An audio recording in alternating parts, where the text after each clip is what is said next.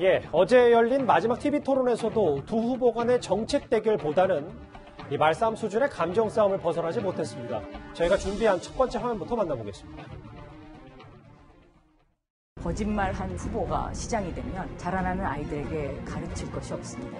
거짓말을 이 난무하는 서울시를 시민들이 원하지 않기 때문에 거짓말이라고 하면 중요한 저는 것입니다. 거꾸로 박영선 후보가 거짓말의 본체라고 생각합니다. 박영선 후보의 존재 자체가 거짓말 아닙니까? 무슨 그런 말씀을 하십니까? 아니 후보 안 내기로 하지 않았습니까? 제가 상대 후보에 대해서 제 존재 자체가 거짓말이다. 그렇지 않습니까? 정말 아주 몹쓸 이야기. 아니 지금까지 계속 오세훈을 거짓말쟁이라고 한 게 누굽니까?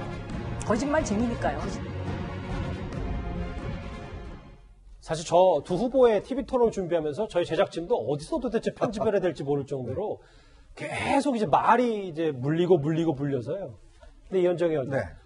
그동안 오세훈 후보가 그렇게 비교적 공세적이지 않았다고 판단을 한다면 어제는 존재 자체가 거짓말이다. 박영선 후보에게 바로 직격탄을 날렸거든요. 아마 지난번 토론회 같은 경우 하더라도 오세훈 후보가 좀 공세에 대해서 그렇게 적극적으로는 공격을 하지 않고 어, 어쩌면 좀 이렇게 관리하는 모습을 보여왔던 것 같아요.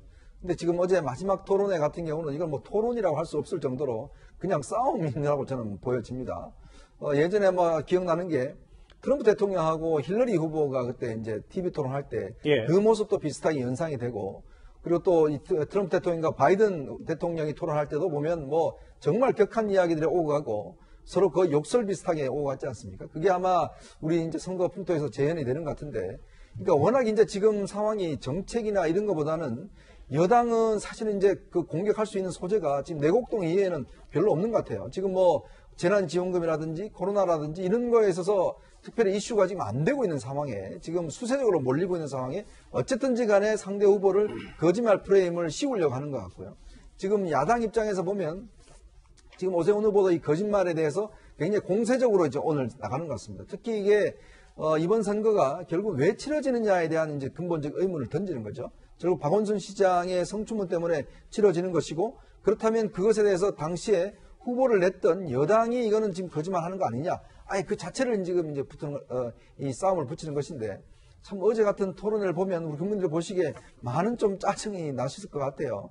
정말 이 천만 도시를 움직여낼 수 있는 시장을 뽑는 선거에서 어떻게 지금 서울시를 하겠다는 이야기보다는 서로 계속 저렇게 말꼬리만 잡고 싸우다 보니까 워낙 지금 상황 자체가 치열하게 붙다 보니까 저런 현상도 나오는 게 아닌가 싶습니다. 그러니까 이현정 의원님 말씀 오히려 예년 TV 토론이야 후보들 간의 정책 대결보다도 더 품격이 떨어졌다 이런 말씀이십니다. 저는 아마 거의 이 TV 토론 그동안 역사 중에서 거의 최악이 아닌가 싶어요.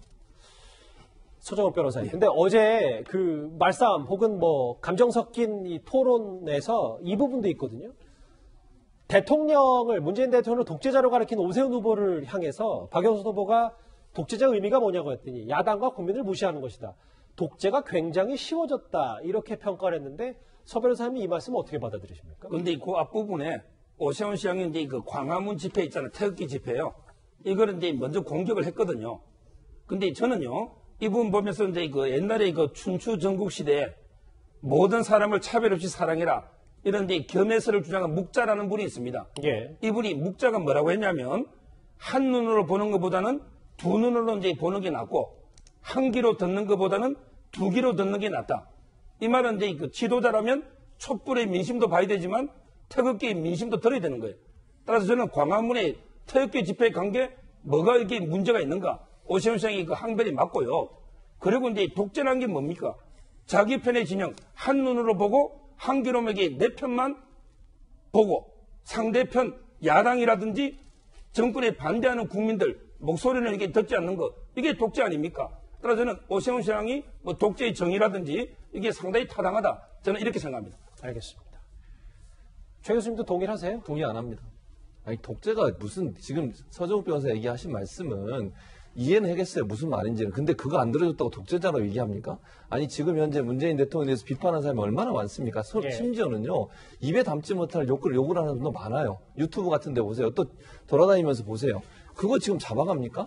독재자라고 하면요 그 말도 못하게 하고요 그런 사람들 잡아놓고 옛날에 우리가 안기부나 이런 사람들이 그런 행동하는 것을 독재라고 하는 겁니다. 지금 물론 이해는 하겠어요. 무슨 의미로 얘기했는지는. 그럼 그렇게 얘기할 수 있잖아요. 왜 야당 의견 안 들어주냐. 그럼 태극기 집회 나온 사람 의견도 들어줘라. 이렇게 얘기할 수는 있지만 지금이 그러면 그런 분들이 말을 못하게 하거나 그분들이 표현의 자유를 하지 못하도록 만드는 상황 아니잖아요. 예. 독재자라고 얘기하는 건 저는 타당하지 않다고 봐요. 비판을 할 수 있지만 말이 너무 심했고요. 그 독재자가 지금 우리가 알고 있는 기본적인 독재자의 의미와 다른 의미로 쓰여지기 때문에 저는 오세훈 후보가 저 발언한 것은 부적절하다고 생각합니다. 그러니까 어제 토론회에서 한 말이 아니라 예. 당시 집회에서 나가서 독재자라는 표현을 썼고 예. 실제로 어제 토론회에서 독재 의미에 대해서 다툰 것 자체 두 가지 다 오세훈 후보가 부적절하다 저는 이렇게 그렇게. 생각해요. 다른 표현으로 충분히 그런 얘기를 할수 있다고 저는 보거든요. 그런데 지금의 현재 상황을 보면 누구든지 대통령에 대해서 비판도 하고 심지어 뭐 욕도 하고 막 하잖아요. 그런 부분들이 자유롭게 다 할 수 있는 상황인데 독재자로 표현하는 것은 그건 타당하지 않다고 봅니다. 예. 저희가 준비한 화면이 또 하나 있습니다. 박영수 후보는 오세훈 후보가 사과한 용산 참사 발언을 시작으로 재개발, 재건축 관련 토론도 이어갔는데요. 말꼬리 잡기로까지 번졌습니다. 화면 만나보시죠. 어떻게 합니까? 그분들께 충분히 보상을 해드리고 어떻게 보상을 합니까? 이주 보상비를 해드리고 이주 보상비를 얼마를 합니까? 이주 보상비를 충분히 해드리도록 충분히 얼마를 하시죠? 해야죠. 아, 그 액수를 어떻게 기- 아니, 이주 보상비 문제, 장해철 평론가님. 근데 이, 게 그러니까 지금 수차례 TV 토론을 보면 박영선 후보가 분명히 어, 어떤 그 질문에 대해서 구체적으로 오세훈 후보에게 답변을 요구하는 경우가 있거든요. 뭐, 여, 뭐 어디 나라 베를린 인구가 어떻게 되냐, 혹은 이, 이 부분, 그러니까 이주 보상비를 어떻게 드릴 거고 얼마나 드릴 건지 이 부분을 좀 많이 캐묻는 것 같습니다. 그런데 사실은 이주 보상비를 얼마나 책정하느냐는 어느 지역에서 개발이 이루어지느냐에 따라 달라질 수밖에 없는 부분인 겁니다. 그 지역에 기존에 살고 계시던 분들의 어떤 토지나 건물에 대한 시세라는 게 존재하고요. 또 그 주변, 가급적이면 너무 멀지 않은 곳으로 이주할 수 있게끔 필요한 보상비가 당연히 서울 안에서도 구마다 천차만별이지 않겠습니까? 주거 환경이나 그 주변 인프라에 따라서도 달라지는 부분인데 일괄적으로 이 재개발을 할 때 이주 보상비를 5억이면 5억, 뭐 10억이면 10억 이렇게 도장 찍듯이 꽉 정해놓을 수 있는 그런 건 아니라는 말씀이죠. 그렇기 때문에 이 토론이 보다 생산적이 되기 위해서는 주민 동의를 받기 위한 재개발 방식 어느 정도 기간을 가지고 접근해야 되는가 이주 보장비 책정을 위해서 뭐 외부 위원회를 만들 것인지 아니면 시의회 차원에서 별도의 TF를 둘 것인지 이런 본질적인 제도 개선 방안 마련을 가지고 두 후보가 토론을 했으면 하는 것인데 베를린 인구 가지고 그때 한참 화제가 됐을 때도 결과적으로는 주장하던 인구 숫자가 나중에 알고 보니까 또 틀린 게 나왔잖아요. 이렇게 이주 보상비 얼마 줄 것이냐, 인구가 몇 명이냐, 그리고 뭐 이 평균적인 임차인들의 월세가 얼마냐, 여기서 만 원, 이만 원 틀리고 만 원, 이만 원 더 정확하게 맞추는 게 거시적인 인구 천만의 메가시티 서울을 이끌어갈 지도자의 자격과 저는 본질적으로는 큰 상관이 없는 말꼬리 잡기나 또는 내가 공부해온 거 상대는 모르겠지 망신주기성 토론의 나쁜 예라고 생각이 들고요. 이건 제가 박영선 후보만 비판하는 게 절대 아닙니다. 예. 오세훈 후보도 마찬가지로 서로 정책이나 공약에 대해서 검증을 할 때는 좀 큰 틀에서 시장이 결정할 수 있는 권한 범위에서 정책적 방향성을 물어봐야지 이런 디테일한 부분들이야말로 사실은 실무자가 챙기면 되는 부분입니다. 그런데 이 토론의 수준이 아직까지도 말꼬리 잡기 감정 싸움에 이어서 정말 가뭄에 콩나듯 나온 정책 토론마저도 실무자 수준의 이 깐깐한 지식 검증으로 간다면 서울 시민들이 보면서 답답할 수밖에 없는 것이겠죠. 쭉 보신 것처럼 이렇게 감정 싸움도 격화되니까 두 후보 간의 말실수도 이어졌습니다. 임대차 3법에 대해서는 전혀 반성 가지고 없습니다. 저는 임차인들의 서름 이것도 굉장히 중요하다고 생각합니다. 임대인들의 가진 자들의 그렇죠. 계속 계속 옮겨 다녀야 되니까요. 임차인이요. 임차인 연계단. 네, 임차인들의 서름. 이분이 지금 바로 비서실장으로 계시는 이분이 징역 10월에 추징금 3천만 원을 받고 감옥 생활을 하셨던 분이에요. 그런데 감옥 생활을 하신 분을 캠프의 비서실장 겸 정책실장으로 함께 하고 있다? 이거 근데 좀 이상하지 않을까요? 사실 그렇게 따지면 민주당의 지금 이광재 지사, 돌아가신 안희정 지사, 그 다음에 박지원 국정원장님 이런 분들 다 신형 살고 나오지 않았습니까?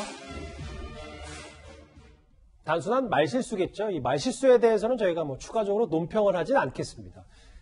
화면만 봤고요.